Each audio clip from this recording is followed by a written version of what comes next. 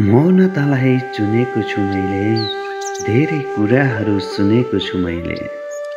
मौनतालाई चुनेको छु मैले धेरै कुराहरू सुनेको छु मैले मान्छेहरू भन्छन् बदलिएको रहेछस्। मान्छेहरू भन्छन् बदलिएको रहेछस्। सबैको मन बुझेर नै एक्लोपनलाई चुनेको छु।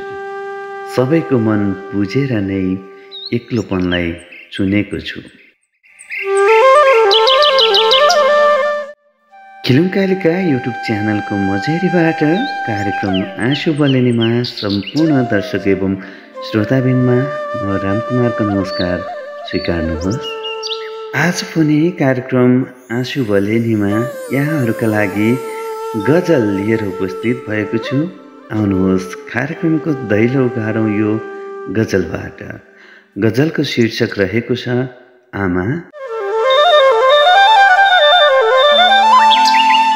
आज लाग्दैछु मुगलान।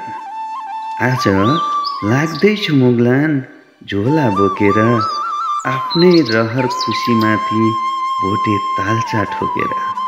आज लाग्दैछु मुगलान झोला बोकेर आफ्नै रहर खुसीमाथि भोटे तालचा ठोकेर बाँचे भने फर्कन्छु आमा। बाँचे भने फर्कन्छु आमा काठमाडौँको रात्रि बस रोकेर मरिहालेछु भने आमा नरुनु है छाती ठोकेर। मरिहालेछु भने आमा नरुनु है छाती ठोकेर। चिन्ता नलिनु अब। चिन्ता नलिनु अब खुसीको सास फेर्नु छ। चिन्ता नलिनु अब खुसीको सास फेर्नु छ। घरको गाह्रो भत्किएछ। घरको गाह्रो भत्किएछ। अब जस्ताले बेर्नु छ। पसिना बेचेर आमा। पसिना बेचेर आमा आफ्नो भाग्य केर्नु छ। फाटिसक्यो हरको चोली पनि। फाटिसक्यो हरको चोली पनि आमा तिम्रो गुन्यु पनि फेर्नु छ। बहिनी पनि ठुली भई बहिनी पनि ठुली भई उसको बिहेदान गर्नु छ। बहिनी पनि ठुली भई उसको बिहेदान गर्नु छ। बाउले लाएको सय कडा तिनको ढोको भर्नु छ। बाउले लाएको सय कडा तिनको ढोको भर्नु छ। बाबु नजा भनेर नरोक है। बाबु नजा भनेर नरोक है। मैले काम धेरै गर्नु छ। कतिसम्म पापी मान्छे यहाँ। सोच्दैनन् कसैले एक दिन आफू पनि मर्नु छ। कतिसम्म पापी मान्छे यहाँ। सोच्दैनन् कसैले एक दिन आफू पनि मर्नु छ। धन्यवाद। दर्शक एवं श्रोताबिन यहाँहरूको माझ कार्यक्रम आँसु पलेनीमा प्रस्तुत गरेँ आमा शीर्षकको यो गजल।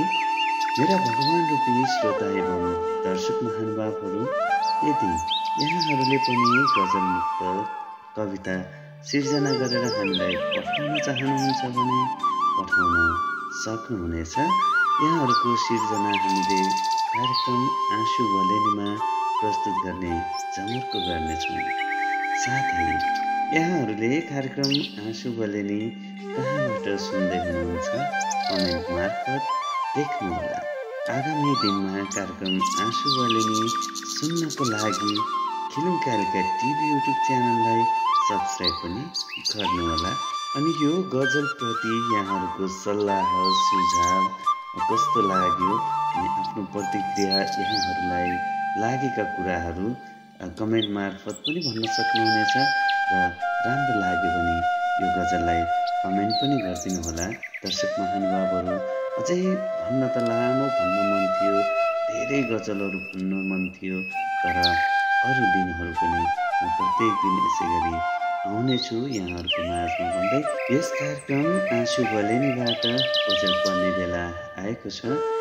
अर्को गजलसँगै फेरि भेट हुने बाचासहित आजको कार्यक्रमबाट बिदा हुने अनुमति माग्न चाहन्छु। बिदा दिनुहोस्। यहाँहरूको समय शुभ रहोस्। नमस्कार।